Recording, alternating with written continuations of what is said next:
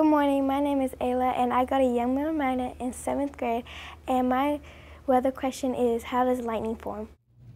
You don't think about it, but we get a lot of lightning. Not so much this time of year, but as we get into June, that active rainy season begins to pick up. Let's talk about it. We got our thunderstorm right here, right? We, we are very familiar with these things. In those thunderstorms, you have updrafts, you have downdrafts, you have wind going up, wind going down, and that wind, those updrafts and downdrafts, cause the ice, the ice pellets, ice crystals in the top of the clouds to collide with the rain, and all of that collision, it's, it's just like when you're, when you're walking around a carpet and you get that static electricity, it's separating the charges. Positive charges go to the top of the storm, negative charges go to the bottom of the thunderstorm. Now, as that's occurring, positive charges also begin to gather underneath the thunderstorm in the ground. So as all of that's happening, those positive charges begin to rise up some of the taller objects. That's why you want to stay away from tall objects when there's a thunderstorm in the area.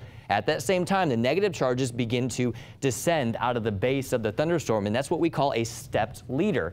All of this is occurring in a very short period of time. The streamer shoots up from one of those tall objects with those positive charges. The negative charges meet in an instant. That's when the channel connects and you get lightning. That's how lightning forms.